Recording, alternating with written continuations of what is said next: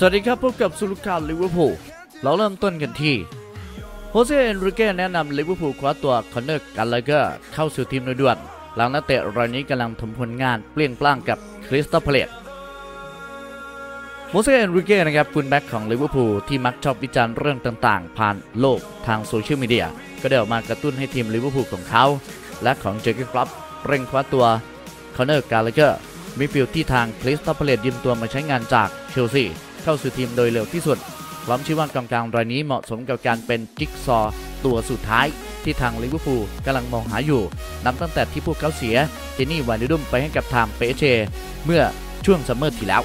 โดยอดีตดาวเตะลิเวอร์พูลรายนี้ได้โพสต์เรื่องนี้ผ่านบนทวิตเตอร์ส่วนตัวของเขา หลังได้เห็นฟอร์มการเล่นอันยอดเยี่ยมของยอดมิดฟิลด์ในวัย 22 ปีรายนี้ ในเกมที่คริสตัลพาเลซเปิดบ้านเอาชนะอาร์เซนอลไปได้แบบท่วมท้น 3 ประตูต่อศูนย์ในเกมลอนดอนดาร์บี้แมตช์เมื่อค่ำคืนที่ผ่านมา โดยเอนริเก้กล่าวว่าผมเพิ่งได้เห็นฟอร์มการเล่นของเจ้าหนูคอนเนอร์กัลลาเกอร์ในเกมนัดล่าสุดกับอาร์เซนอลและต้องยอมรับว่าดาวรุ่งรายนี้มีพรสวรรค์ที่เหลือล้นจริง ๆ ตอนแรกที่มีคุณพูดถึงนักเตะรายนี้บนโลกโซเชียลเป็นจำนวนมากนั้น ผมก็ไม่ค่อยเชื่อกับข่าวที่ออกมาเท่าไหร่นัก แต่เมื่อผมเห็นฟอร์มการเล่นในวันนี้ของกัลลาเกอร์แล้ว ผมต้องเปลี่ยนความคิดในทันที และอยากจะให้เขาย้ายมาเล่นกับลิเวอร์พูลเลยล่ะครับ โดยในเกมนัดนี้นะครับกัลลาเกอร์รับบทเป็นมิดฟิลด์ box to box ให้กับทีมของปาทริกวิเอร่าและสามารถสร้างปัญหากับกองกลางของทีมมิเกลอาร์เตต้าได้ตลอดทั้งเกมและเมื่อผมวิเคราะห์ดูแล้ว ผมก็เห็นชัดเจนว่ากัลลาเกอร์นั้นมีสไตล์การเล่นที่คล้ายคลึงกับจอร์แดนเฮนเดอร์สันเป็นอย่างมากรวมถึงมีความละม้ายคล้ายคลึงกับจินี่ไวนัลดุมเช่นเดียวกัน นั่นเพราะตัวเขาสามารถเก็บบอลในแดนกลางได้ทั้งหมด และเป็นตัวคอยไล่ตัดบอล และขับเคลื่อนเกมให้กับคริสตัลพาเลซในเกมนี้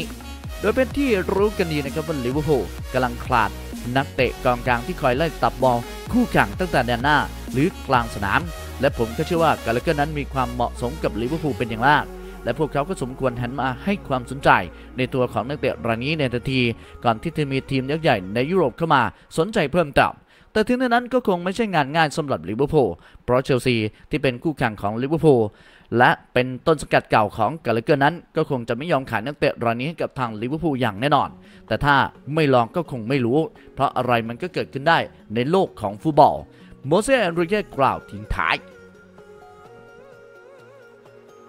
น้ำตาแทบไหลเจมี่คาร์ราเกอร์ปลื้มเลย รูนี่ฟันธงหงส์จะซิวแชมป์พรีเมียร์ลีกเวย์นรูนี่นะครับอดีตศูนย์หน้าทีมแมนเชสเตอร์ยูไนเต็ดฟันธงว่าทีมหงส์แดงลิเวอร์พูล คือทีมที่จะคว้าแชมป์พรีเมียร์ลีกอังกฤษในซีซั่นนี้ไปครอบครอง เล่นเอาเจมี่คาร์ราเกอร์อดีตกองหลังของหงส์แดงที่จัดรายการร่วมกันเป็นปลื้มๆไปด้วย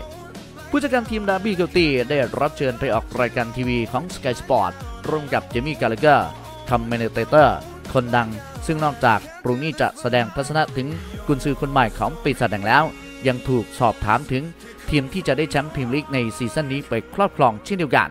เกมในวันที่หน้าสามารถตัดสินแชมป์เลยนะครับว่าจะตกไปอยู่กับทีมไหนจาก2ทีมนี้ ผมไม่คิดว่าพวกเขาจะทำแต้มหล่นอีก อดีตกองหน้าทีมชาติอังกฤษเอ่ย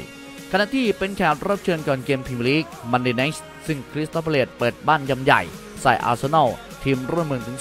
3-0ทั้งคู่เป็นทีมที่ดีที่สุดของยุโรปในเวลานี้ ผมคิดว่าซิตี้ตอบสนองได้ดีหลังจากที่ลิเวอร์พูลชนะในเกมคู่แรกของวัน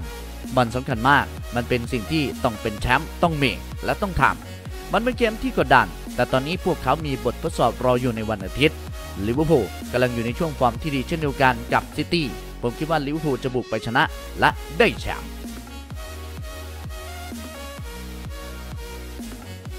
เกิดจากทุกคนฟานไดค์พูดถึงเกมรับอันแข็งแกร่งของหงส์แดงลิเวอร์พูล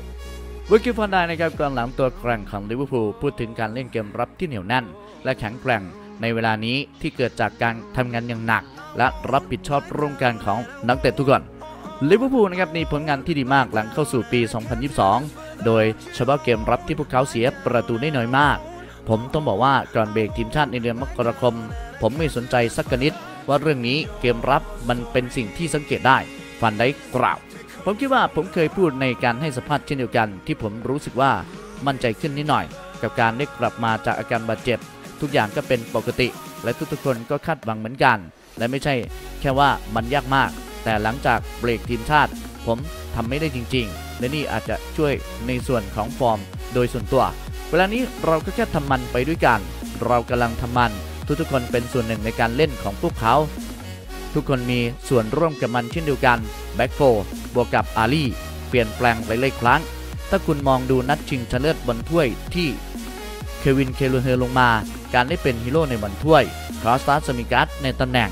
แบ็กซ้าย อิบราฮิมาโกนาเต้ลงมา โจโกเมซลงมาในตอนนี้ ทุกคนล้วนแล้วแต่มีส่วนสำเร็จที่เราต้องรับกันเป็นหนึ่งเดียว แต่วิธีการที่เรารับมือทุกอย่างไปด้วยด้วยกัน และทุกคนรู้สึกถึงความรับผิดชอบในเรื่องนี้เช่นเดียวกันฟานไดค์ยังพูดถึงการเล่นเกมรับที่มีการดันไลน์ขึ้นสูงของทีมอีกด้วย มันเกิดขึ้นตั้งแต่ผมอยู่กับสโมสร มันไม่ถูกเน้น แต่ผมคิดว่า ถ้าหากคุณมองย้อนกลับไปใน 2-3 ฤดูกาลที่ผ่านมา เรามักจะพยายามดันเกมสูง เราไม่ได้เช็คล้ำหน้า แต่ชัดเจนถ้าคุณดันให้คู่แข่งล้ำหน้า มันจะเป็นความได้เปรียบ ผมคิดว่าฤดูกาลนี้และฤดูกาลที่แล้ว วิธีการที่พวกเขาเริ่มใช้กฎที่เราต้องเล่นต่อไป และหลังจากนั้นไลแมนก็ยกทุนขึ้น มันดูเหมือนเราเสียโอกาส แม้แต่วันที่ชัดเจนอาลี save ดูเหมือนว่าเราจะเปราะบางตอนที่เขาล้ำหน้า ผมคิดว่ากฎข้อแรกต้องเอาออกไปก่อน แต่อีกเรื่องคือดันแนวสูง เราไม่ได้พูดคุยกันโดยส่วนตัวเกี่ยวกับมันมาก แต่แน่นอนว่าในสนามต้องมีการสื่อสาร แต่ผมพยายามที่จะทำเรื่องนี้เสมอ ไม่น่ากลัวเท่าเรือหงส์สื่อเปิดเผยแข้งเรอัล มาดริด happy ที่เจอเชลซี The Athletic สื่อกีฬาชื่อก้องของอังกฤษระบุ เหล่าแข้งของเรอัล มาดริดพอใจในรอบ 8 ทีมสุดท้ายในศึกยูฟ่าแชมเปี้ยนลีกที่พวกเขาได้เจอกับเชลซี เพราะมองว่าสิงโตน้ำเงินครามเชลซี เล่นไม่ได้น่ากลัวเท่ากับอีก 2 ทีมจากของอังกฤษอย่างลิเวอร์พูลและแมนเชสเตอร์ซิตี้บรรดานักเตะเรอัลมาดริดรู้สึกดี พวกเขาถูกจับสลากมาเจอกับเชลซีในรอบก่อนรองชนะเลิศของศึกยูฟ่าแชมเปี้ยนลีกเพราะมองว่าสิงโตน้ำเงินครามเชลซีไม่น่ากลัวเท่ากับแมนเชสเตอร์ซิตี้และลิเวอร์พูลหากนับเฉพาะทีมจากเกาะอังกฤษ ตามการรายงานของ The Athletic สื่อกีฬาชั้นนำที่มีความน่าเชื่อถือสูง การเจอกันของมาดริดกับเชลซีหนนี้เป็นเหมือนกับการ rematch จากรอบรองชนะเลิศของ season ก่อน ที่เชลซีเป็นฝ่ายเอาชนะไปได้ด้วยสกอร์ 2 นัด 3-1 ก่อนที่จะก้าวไปเป็นแชมป์โดยในการเจอกันทั้ง 5 นัดที่ผ่านมาในทุกรายการนั้น ราชันชุดขาวยังไม่เคยชนะเชลซีได้แม้แต่ครั้งเดียว เช่นเดียวกัน เป็นการแบ่งเสมอกันไป 2 เกม และแพ้ไปถึง 3 ครั้ง ทั้งนี้ The Athletic อ้างว่าได้คุยกับแหล่งข่าวที่รู้เรื่องเบื้องลึกภายในทีมมาดริดเป็นอย่างดี ซึ่งวงในรายนั้นก็บอกว่าบรรยากาศลูกทีมของคาร์โลอันเชล็อตติ happy พอสมควรที่สามารถเลี่ยงการเจอกับแมนเชสเตอร์และลิเวอร์พูลได้ เนื่องจากในด้านฟอร์มการเล่นนั้น ตอนนี้มันถือว่า 2 ทีมดังกล่าว เล่นดีกว่าเชลซีอยู่เยอะ สายเดียวเปลี่ยนชีวิต เจเกนคลับเผยจุดเริ่มต้นของการมาคุมทัพลิเวอร์พูลเมื่อ 6 ปีก่อน เจเกนคลับเปิดเผยถึงสายโทรศัพท์สายหนึ่งที่โทรเข้ามาไปหาเจ้าตัว และเป็นจุดเริ่มต้นที่ไปคุมทีมลิเวอร์พูลเมื่อ 6 ปีก่อน เจเกนคลับกุนซือหงดังลิเวอร์พูลออกมาสัมภาษณ์เปิดเผยจุดเริ่มต้น ในการมาคุมทีมลิเวอร์พูลเมื่อ 6 ปีก่อน เกิดขึ้นจากสายโทรศัพท์สายหนึ่งที่ติดต่อไปหาเจ้าตัว โดยเจเกนคลับเล่าว่าเอเย่นต์ส่วนตัวของเขาโทรมาหาในวันหยุดพักร้อน ก่อนที่จะพูดขึ้นว่า เฮ้ลิเวอร์พูลได้ติดต่ออยากคุยด้วย ซึ่งเจ้าตัวก็เล่าว่า ใช้เวลาตัดสินใจไม่นานก่อนที่จะตอบตกลงมารับงานในทีมแอนฟิลด์เมื่อปี 2015 และเป็นจุดเริ่มต้นของความสำเร็จในช่วง 6 ปีกว่าๆของเทียมปกติเวลาอยู่กับครอบครัวผมมักจะไม่รับสายโทรศัพท์ใครทั้งนั้น ผมอยู่กับครอบครัวตลอด ผมต้องรับสายใครทำไม เว้นแต่ว่ามันมีวันหนึ่ง ผู้จัดการส่วนตัวที่เหมือนกับเพื่อนของผมโทรมา แล้วบอกว่า เฮ้ยคล็อปป์ ลิเวอร์พูลอยากคุยด้วยลิเวอร์พูลเลยนะนายสนใจไหมทำเอาผมคิดอยู่กับตัวเองพักหนึ่งก่อนที่จะตอบตกลงนับตั้งแต่เข้ามาที่นี่วันแรก จนถึงวันนี้ผมรู้สึกอบอุ่น และคิดไม่ผิดที่ตอบรับงานดังกล่าว แถมเริ่มปลูกฝัง และสร้างอะไรใหม่ๆให้กับสโมสรแห่งนี้ และผมคิดว่าถ้วยแชมป์ที่ได้มากับทีมในเวลานี้มันไม่มากเกินไป ไม่น้อยเกินไป และยังอยากได้เหมือนเพิ่มอีก โดยทัพหงส์แดงลิเวอร์พูลของเราครับมีคิวบุกไปเยือน เบนฟิก้าในรอบ8ทีมสุดท้ายในศึกยูฟ่าแชมเปี้ยนลีกที่จะแข่งขันกันในค่ำคืนนี้ตามเวลาประเทศไทยก็คือตีสองนะครับห้ามพลาด ชายผู้บ้าคลั่งลิเวอร์พูลมีไฮไลท์หลังจบเกม นี่คือสรุปข่าวลิเวอร์พูลครับซึ่งเป็นรอบเย็นของวันที่ 5 เมษายน